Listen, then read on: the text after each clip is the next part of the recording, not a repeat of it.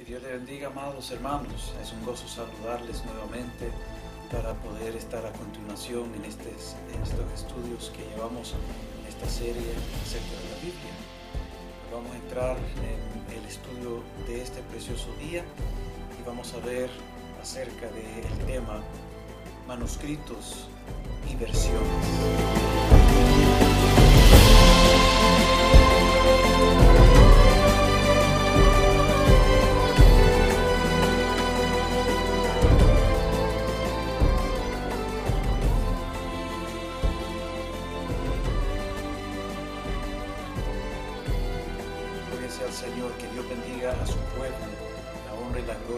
Señor para siempre, amados.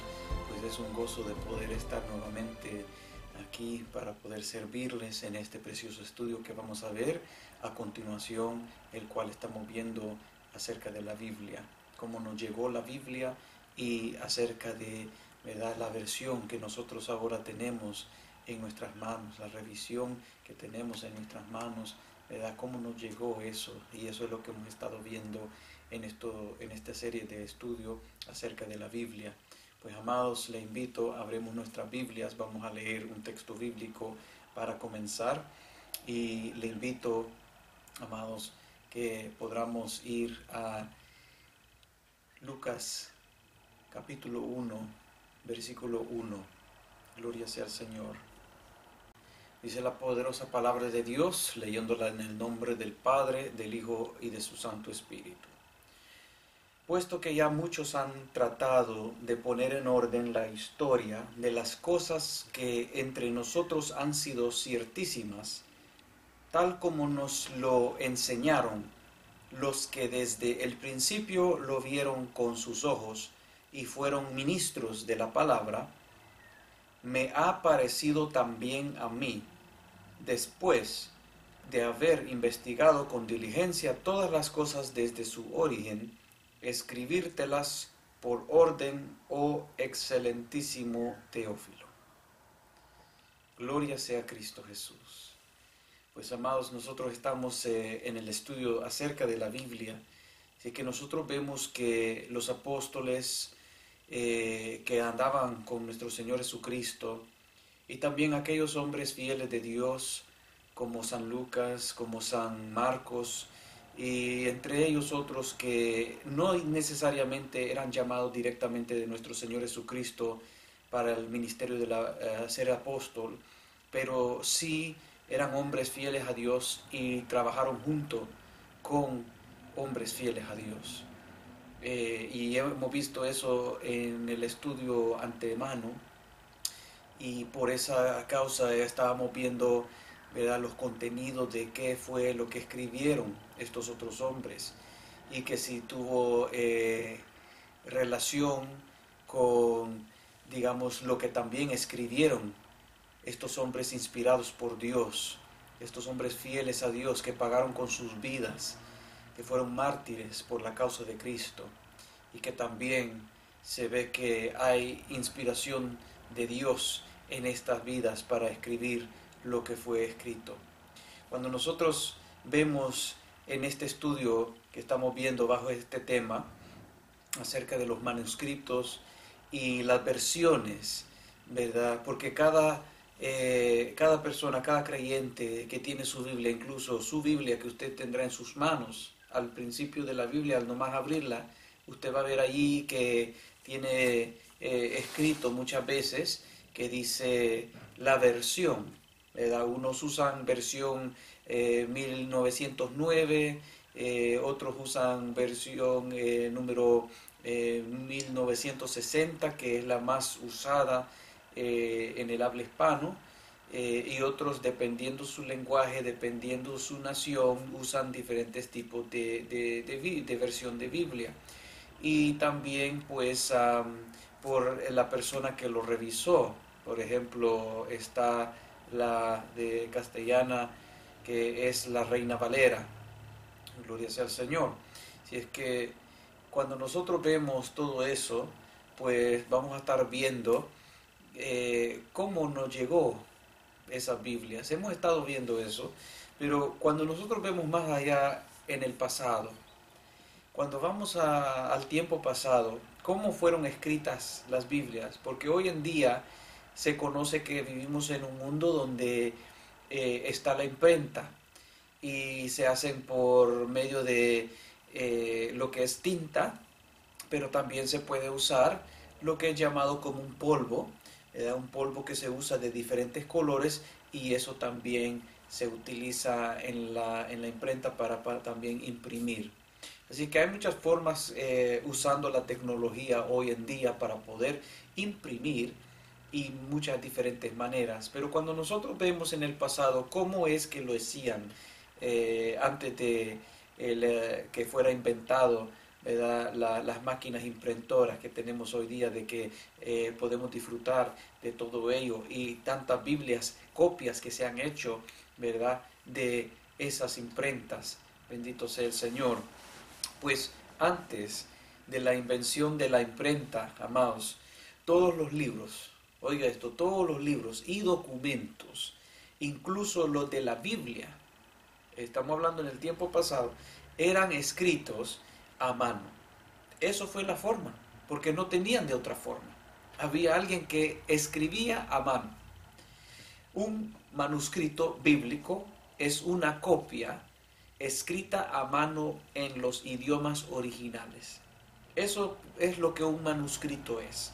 Cuando dijimos al principio de este tema que íbamos a ver eh, que este tema es manuscrito y versiones, cuando nosotros vemos qué es un manuscrito, un manuscrito viene a ser una copia de la Biblia que ha sido escrita, pero escrita a mano, copiado de original, del original y hacer una copia de ese original a mano. Bendito sea el Señor.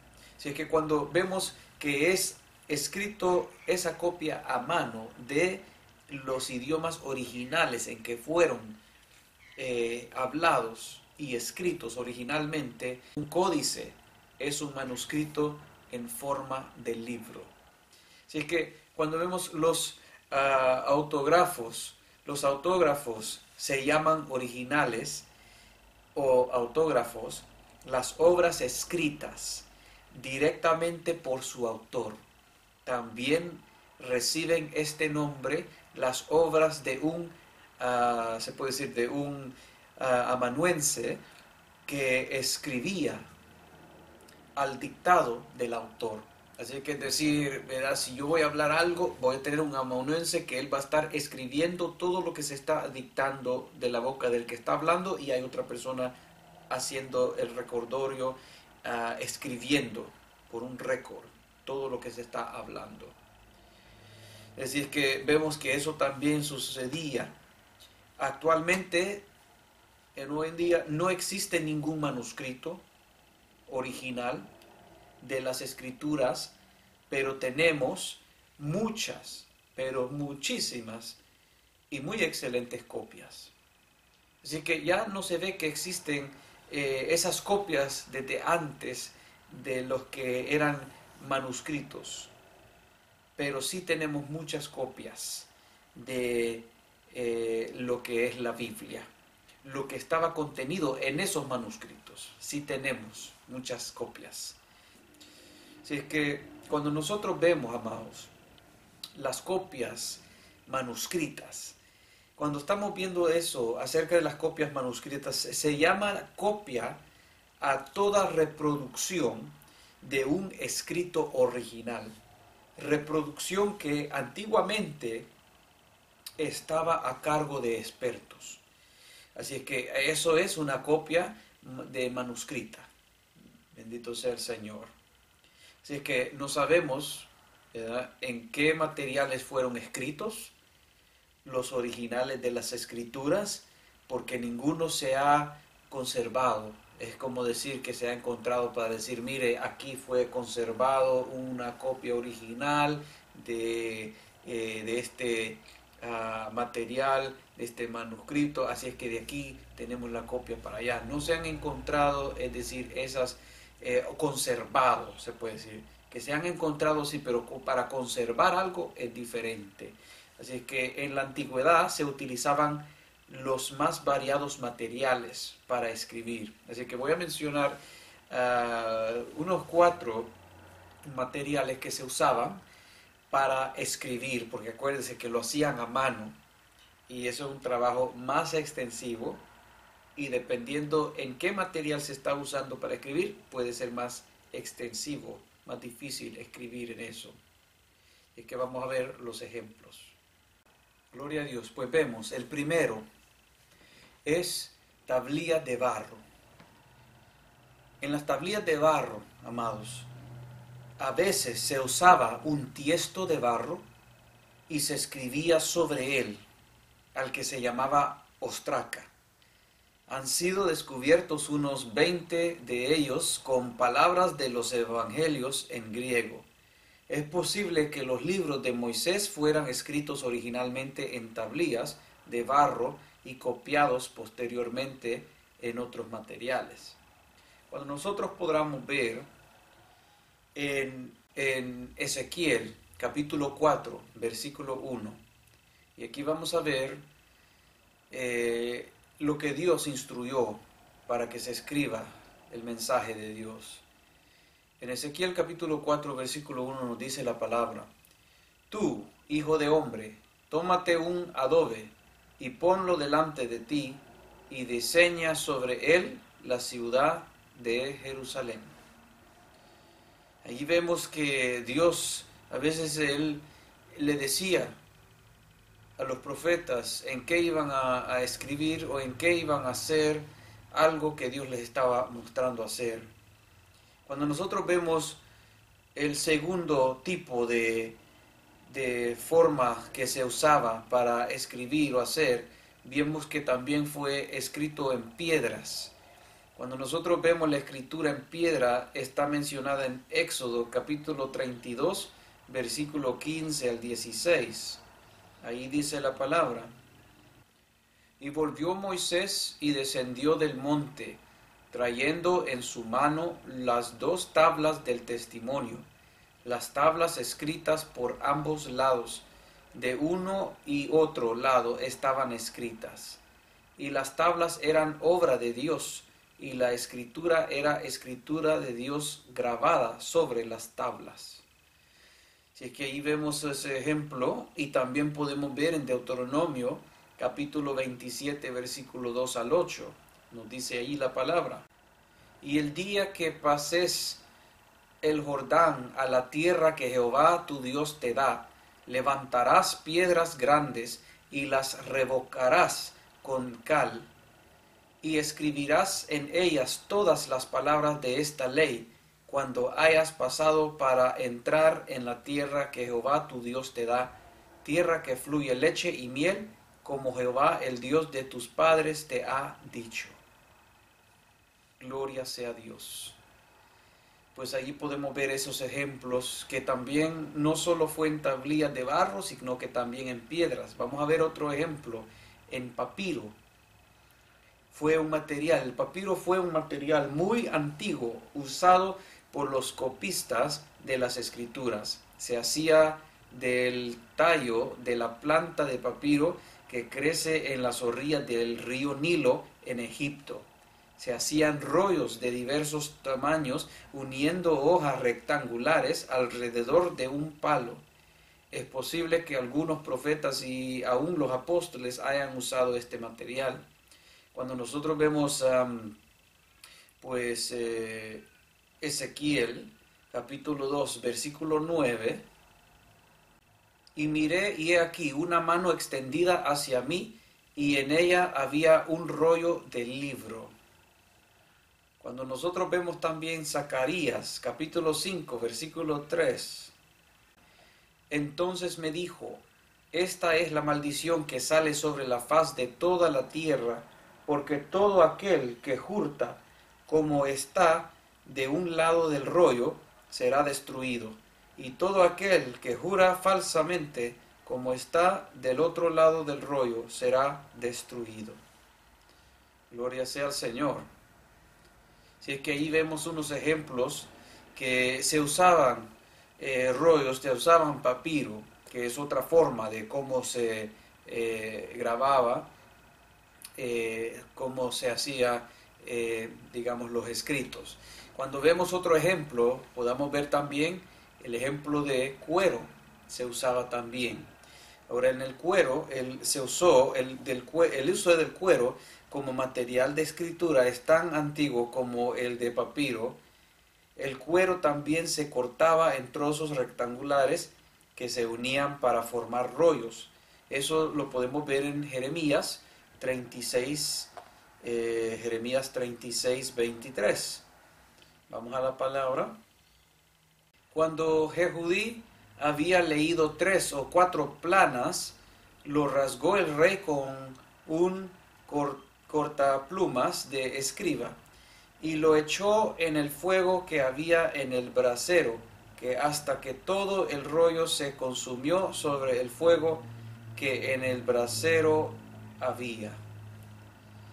Si es que nosotros vemos el pergamino era un clase de cuero muy bien curtido muy bien curtido de piel de res o carnero. Un pergamino más fino era preparado con piel de antílope, ternero o cordero y se llamaba vitela. Y eso podemos ver ahí, segunda de Timoteo 4:13. Trae cuando vengas el capote que dejé en Troas, en casa de Carpo, y los libros mayormente los pergaminos. Ahí Pablo le estaba instruyendo a Timoteo que cuando lo llegue a visitar a él, que lleve eh, el pergamino. Así que lo que tenemos hoy en día no son manuscritos originales, sino que tenemos copias. Copias de esos manuscritos originales sí hay, se encuentran, pero de que podamos decir que se encuentran Em, manuscritos originales ya no, se encuentran. Si es que cuando nosotros vemos eh, acerca de las copias que hay de esos manuscritos originales, pues del Antiguo Testamento, podemos nosotros los, los manuscritos bíblicos de más antigüedad que se conocen son los rollos del Mar Muerto. Estos son los que se encontraron consisten en rollos o fragmentos de cuero y papiro eh, que contienen en suma eh, todos los libros del Antiguo Testamento, excepto Esther, fueron descubiertos en el año 1947. Mira hasta cuándo fueron venidos a ser descubiertos esos, eh, esos ah, papiros, esa escritura, ¿verdad? La palabra de Dios que está ahí del Antiguo Testamento en 1947 y se cree que algunos de los fragmentos son del siglo II Cristo. Muy importantes son también los manuscritos basados en el texto masorético. Acuérdese que dijimos en el, en el, en el estudio del, ah, del, canon de la Biblia que fueron los masoréticos, eh, los judíos, eh, estudiosos que fueron llamados los masoréticos, que ellos fueron los que eh, primero hicieron esa copia de eh, esa copia de del Antiguo Testamento. Así es que eh, cuando nosotros vemos allí durante los siglos 5 y 10, 5 al 10, perdón, del siglo 5 al 10 de nuestra era, la transcripción del Antiguo Testamento fue la obra de los masoretas. Estos fueron los escribas que primeramente fijaron el texto del Antiguo Testamento, llamado por ellos texto masorético. Este texto tiene gran importancia porque ha sido la base del Antiguo Testamento en nuestras Biblias. Así que la Biblia que usted tiene en sus manos, la Biblia que yo tengo en mis manos, el Antiguo Testamento, que aparece ahí eh, viene a ser, ¿verdad? Eso de que el trabajo de lo que hicieron estos judíos, y eso se llamó el texto masorético. Bendito sea el Señor, porque Dios siempre ha tenido un remanente fiel que ha siempre, ¿verdad? El Señor usado de una forma u otra para que su palabra siga hacia adelante a las otras generaciones que están por venir. Gloria sea el nombre de Dios. Así que al hacer una comparación del texto masorético y los rollos del Mar Muerto, encontramos que el texto de los rollos difiere muy poco y en cosas sin importancia de los manuscritos masoréticos, lo cual comprueba que la palabra de Dios que tenemos hoy en nuestras Biblias es la misma que recibieron los escritores bíblicos, transmitida a través de los siglos sin pérdida esencial. Cuando hablamos sin pérdida esencial, estamos hablando de que lo que usted y yo necesitamos conocer y practicar para ir al cielo está escrito en la Biblia. Gloria sea el Señor. Está allí en el Antiguo Testamento y está allí en el Nuevo Testamento lo que usted y yo necesitamos conocer para ir al cielo. Bendito sea el Rey. Si es que del Nuevo Testamento, ahora hablando del Nuevo Testamento, los manuscritos más importantes se pueden clasificar en dos grupos, los papiros y los códices. Si es que cuando vemos eh, los papiros, podemos ver un ejemplo del papiro de eh, un escritorio, que una, una, persona que escribió, que se llama John eh, Rylands o John Rylands. Es hasta el presente el más antiguo manuscrito del Nuevo Testamento. Fue encontrado en Egipto y se cree que data de alrededor del 125, del año 125 después de Cristo, y consiste en un fragmento del Evangelio de Juan, y, allí eh, menciona el capítulo 18 del versículo 31 al 33 y el versículo 37 y el 38. Así que eso es eh, acerca del Nuevo Testamento. Tenemos esos eh, manuscritos más importantes que es en forma de papiro. Y allí usted puede ver cómo es ese, eh, cómo se miran esos fragmentos del papiro. Cuando vemos otro ejemplo de los papiros, pues está otra persona mencionada que se llama Chester Beatty. Y esta, eh, este papiro consiste de tres códices que datan del año 200 al 250 después de Cristo y contiene la mayor parte del Nuevo Testamento. Cuando vemos eh, ahora los códices, los códices vienen a ser, por ejemplo, eh, Códice Vaticano, lo que sacó el Vaticano. El Códice Vaticano data de los años 325 al 350 después de Cristo y contiene casi todo el Nuevo Testamento. Cuando vemos después el Código Siniático, el código siniático se cree que data del año 340 después de Cristo.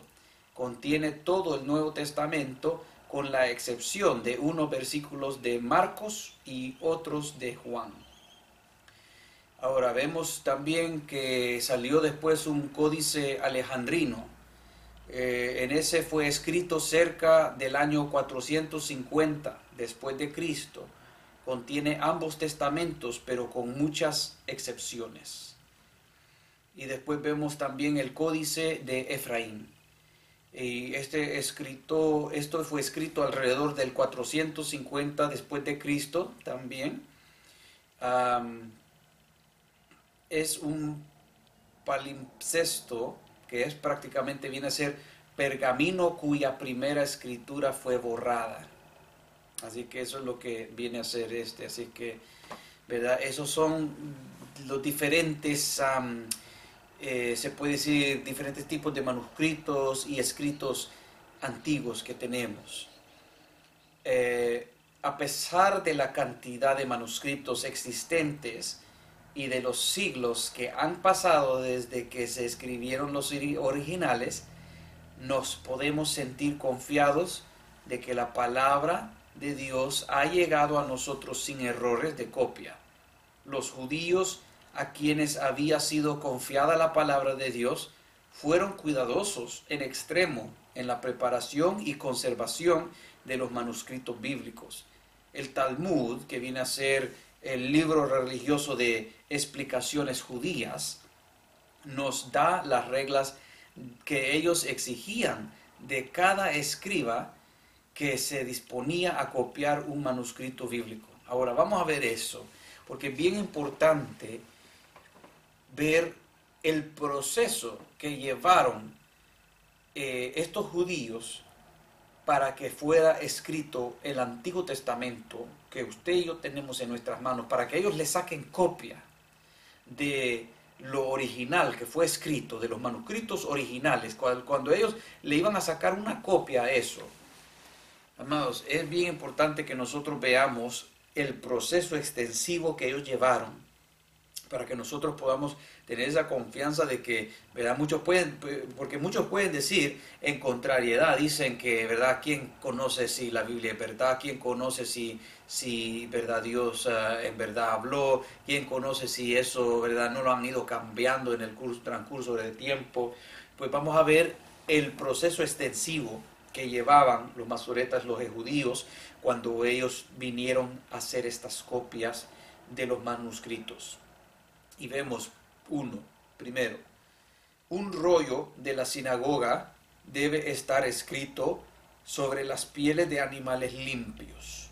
Acuérdese que ellos tenían una, una, ley estricta de que no podían ofrecer cosas que no eran limpias ante Dios, así que tenían que encontrar primeramente un animal que era limpio y escribirlo sobre una piel de los animales de un animal limpio.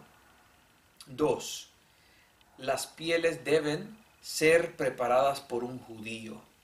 Así que esa era otra cosa, no podían ellos permitir que eh, una persona que no fuera judía eh, se mete a, hacer este trabajo que era tan delicado hacer.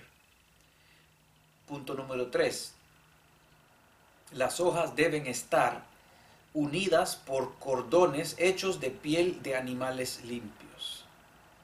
Punto número cuatro, vemos que dice, eh, bueno, vemos aquí, cada piel debe contener un cierto número de renglones, igual a través de todo el códice. El códice viene a ser como en una forma de libro, que hemos dicho ya, ¿verdad? Que era hacer una copia de un manuscrito, pero ya en una forma de libro. Gloria a Dios. Punto número 5, amados. La longitud, vamos a ver la longitud de cada columna no debe ser menos de 48 ni mayor de 60 líneas. Y el ancho, el ancho eh, debe consistir de 30 letras.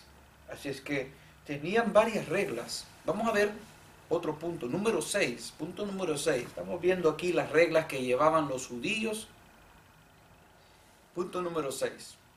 La copia entera debe ser rayada con anticipación. Y si tres palabras se escribieran fuera del renglón, eh, el manuscrito no valía nada. Es decir, lo desechaban. Trabajo perdido.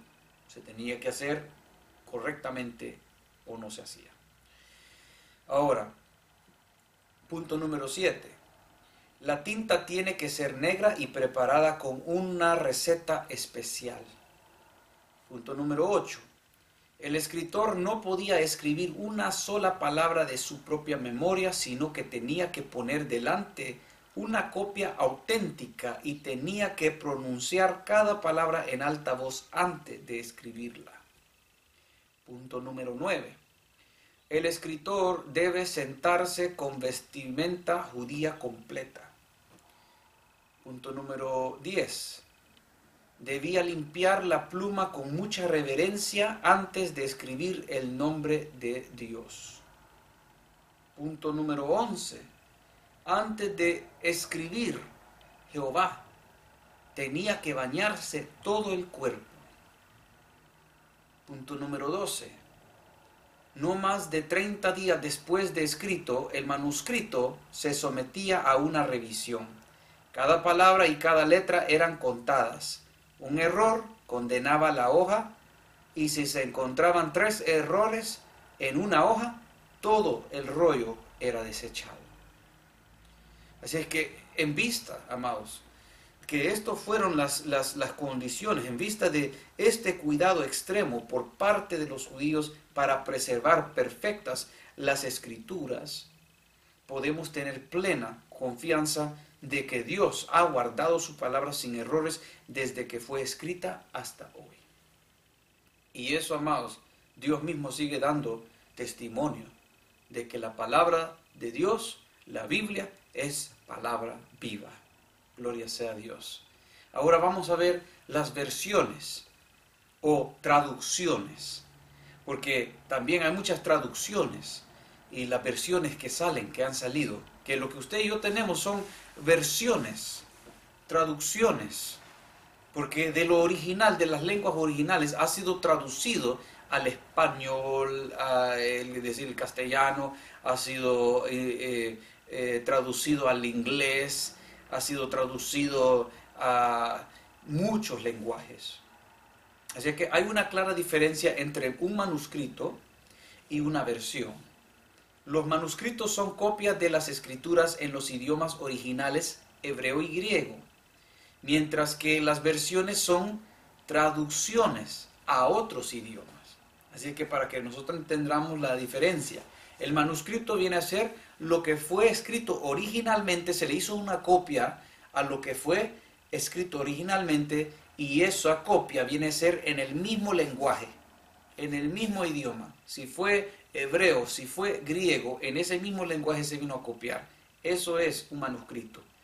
Pero cuando estamos hablando de sacar, digamos, una versión o una eh, traducción, la traducción viene a ser cuando ya se toma de, del lenguaje que está el original, pero se cambia a otro lenguaje.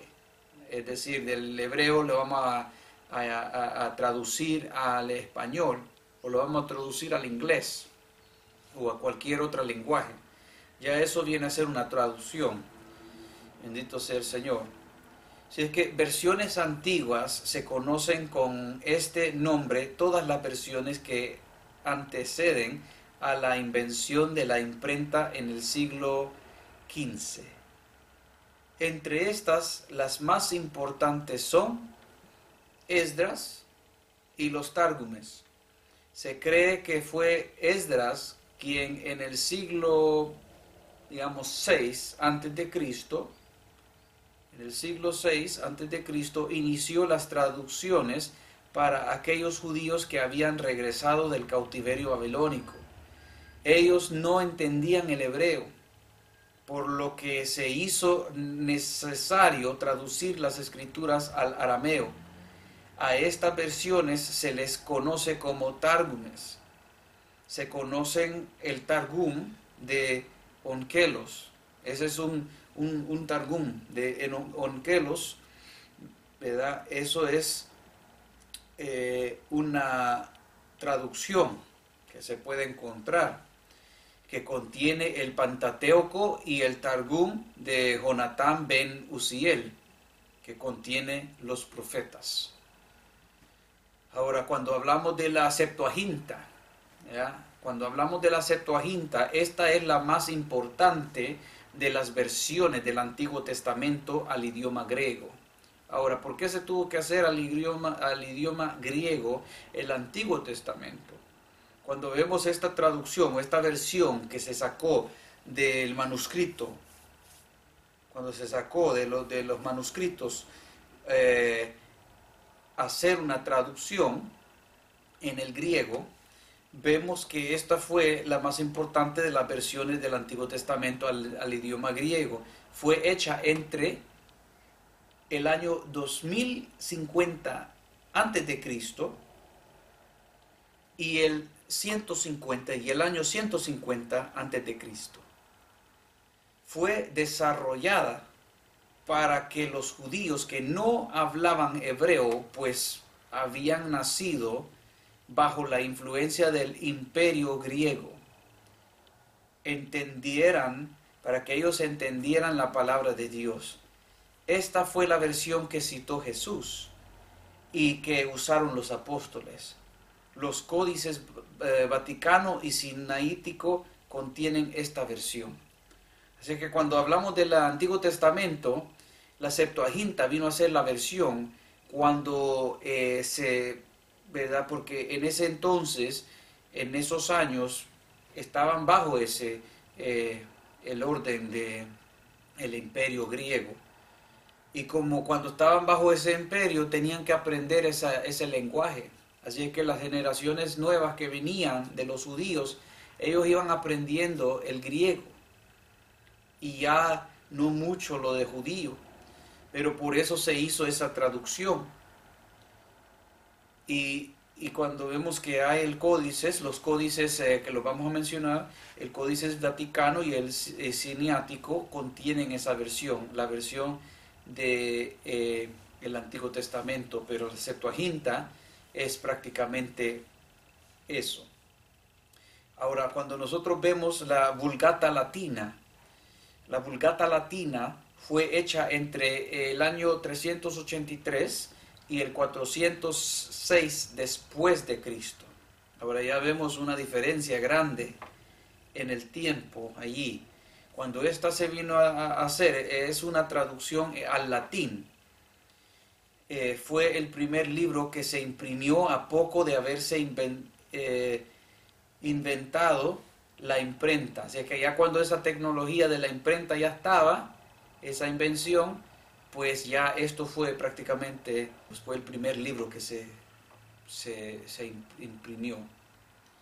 Así es que el 8 de abril del 1546 fue declarada versión oficial de la Iglesia Católica en el Concilio de Trento.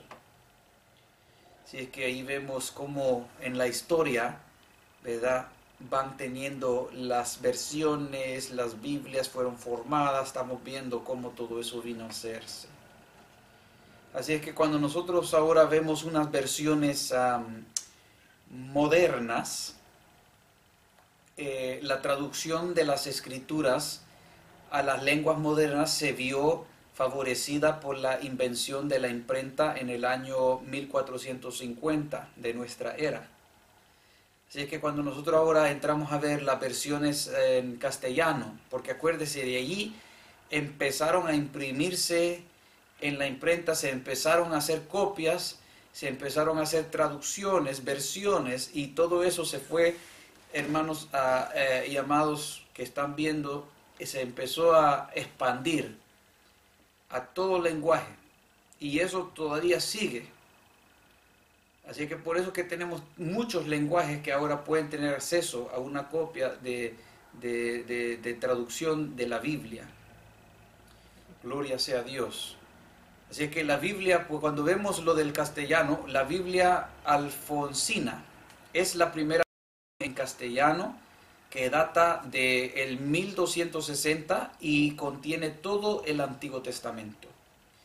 Cuando después vemos eh, la Biblia del oso, la famosa Biblia del oso, amados, fue la primera versión completa de la Biblia en castellano, fue traducida directamente de las lenguas originales por Casiodoro de Reina en 1569. Por eso es que muchos les gusta esa, esa Biblia que ya no se encuentra en muchos lugares, bien, bien raro. Pero esa es la Biblia que, bueno, vamos a ver ahí una, un dibujo y ahí usted puede ver que al frente de esa Biblia, ¿verdad? Le hicieron, eh, por eso se llama la Biblia del oso, porque le hicieron el, dibujito ahí del oso que está, ¿verdad?, queriendo agarrar la miel, porque la Biblia es como miel para nosotros, que cuando la comemos, cuando, ¿verdad?, cuando la, la leemos y la practicamos y la entendemos, es como, es dulce como la miel. Bendito sea Dios. Cuando vemos eh, versiones revisadas, ahora entrando a las revisiones, ya cuando vemos las versiones revisadas, se da este nombre a las versiones que luego de una cuidadosa revisión han sido corregidas. ¿Y qué fue corregido? Digamos, quizás una palabra que no fue, eh, digamos, utilizada en una forma tan correcta para explicar lo que se, se necesitaba explicar, porque una palabra tiene un peso y, al poner otra palabra como que le quita el peso o le pone más peso o lo cambia por completo lo que está diciendo esa palabra. Así es que por eso se vio el trabajo de las revisiones. Y eso de las revisiones, eh, a ser revisada, vino en el tiempo de las versiones. Porque ya cuando se empezó a traducir del idioma original a otro lenguaje, allí es donde a veces vino a haber eh, ciertas palabras que se pudieran ver utilizado, pero eh, en, en, la traducción se ve que puede ser un problema allí. Por eso las revisiones vinieron a darse para revisar esa palabra que fue utilizada, para ver si en verdad esa palabra concuerda a la original, si le da eh, el valor directamente de lo que el original está diciendo. Y por eso las versiones, las revisiones, tenían que después darse por ese mismo hecho. Así es que cuando nosotros vemos la versión de Casiodoro de Reina revisada por ah, Cipriano de Valera, fue hecha en el 1602 y revisada en años posteriores, siendo la más importante la revisión de 1960. Así que muchos de eh, los habla hispanos tenemos una Biblia, ¿verdad?, de Reina Valera, de Casiodoro Reina Valera, versión de Casiodoro Reina Valera, y dice ahí revisión 1960. Y ahí le puede también mencionar otros números, como 1000 602 a 1920 y otros así, hasta llegar al 1960. Y por eso es que tenemos todo eso ahí, porque va a ver usted de dónde viene esa Biblia y las revisiones que le hicieron a la traducción al idioma que usted está leyendo. Si es que eh, es la versión favorita, esa, la 1960. Y otras ah, versiones populares que usan otros hispanos vienen a ser eh, las traducciones como eh, son traducciones eh, libres de la escritura de lenguaje sencillo y claro. Por ejemplo, vemos Dios llega al hombre, publicada en 1966, contiene solo el Nuevo Testamento. Y Dios habla hoy, publicada en 1979, contiene ambos testimonios. Si es que, amados, allí nosotros podemos ver de dónde vino la Biblia, que usted y yo ahora podemos disfrutar de esta preciosa Biblia en las revisiones. Y eso, amados, es que no hemos ni entrado a hablar acerca de la historia como los hombres que pagaron con sus vidas como mártires y muchos de ellos que verdad fueron quemados junto con las Biblias que ellos copiaban los quemaban para que esta Biblia llegue a nuestras vidas sobre el curso de tiempo. Así que, amados, eso es, será para otro estudio que Dios podrá permitir. Pero vamos a vender en palabras de oración, porque hemos visto cómo la Biblia nos ha llegado, cómo los manuscritos, las versiones, las traducciones, eh, las copias nos han llegado para que nosotros ahora podamos disfrutar de las poderosas palabras de Dios.